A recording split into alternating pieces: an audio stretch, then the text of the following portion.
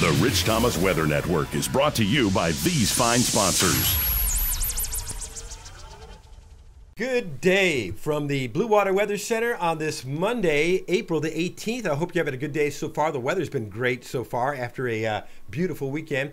We're going to uh, update you on exactly what's going on here as far as uh, the current conditions. This is our midday nowcast plus a little update on the forecast as well. We'll get you up to date on that and we'll uh, take a look ahead. I want to remind you about the website, richthomasweathernetwork.com. If you haven't checked it out yet, it's a great place to, uh, to go for weather information because you get all of the videos, you get all of the live streaming whenever there's any severe weather, you get all the tweets all the Facebook posts, uh, plus other great stuff, including radar. Uh, you'll get the hour by hour forecast and your extended forecast. It's all one stop shopping and it's at richthomasweathernetwork.com. Now, you want to talk some weather? Let's do that. Let's go to the weather computer here. And we're looking at a dry day, even though you see a couple of blips on the radar. That is nothing. Uh, that's actually um, uh, just where the radar lo- is located. You see, you see some around Carrville, uh, where the East Alabama radar is located. You also see some uh, up there around Alabaster,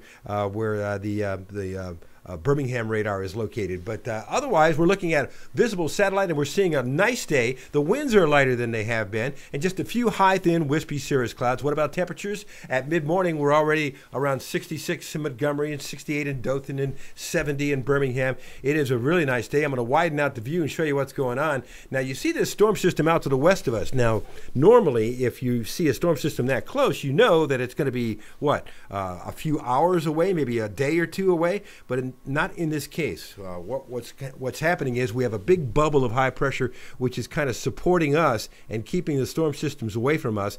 So that storm system in the middle of the country is not going to be affecting us for the next day or two or three. As a matter of fact, it'll be uh, t- towards Thursday night into Friday before we have the next uh, storm system affecting us. What a weekend they had out in the Rockies too.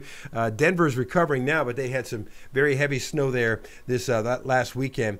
Temperatures are warm out ahead of this thing, and uh, I'm going to show you what's going on here as far as um, our weather goes. First of all, sunny and warmer today with a high temperature up to about 80. Tonight's low down to about 50, and easterly winds not as strong as they have been out of the uh, east at 6 to 12 miles per hour. Now, here's what's going on at 20,000 feet. The upper level ridge of high pressure is swelling up over uh, the um, the Gulf South and the southeastern U.S., and that's keeping that big storm system out to the west. You see those concentric circles. That's keeping that at bay.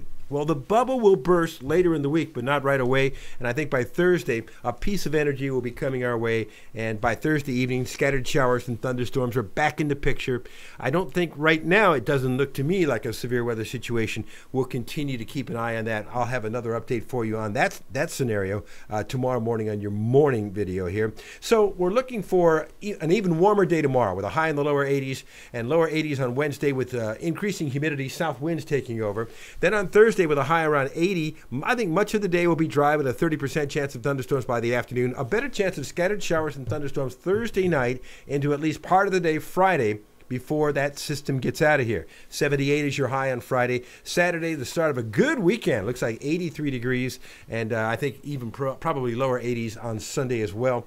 Uh, the European out 10 days is showing that one storm system. You see the blue bar- bar- bars on the bottom there? Uh, as we get into late Thursday, Thursday night into Friday, that's that next storm system coming in.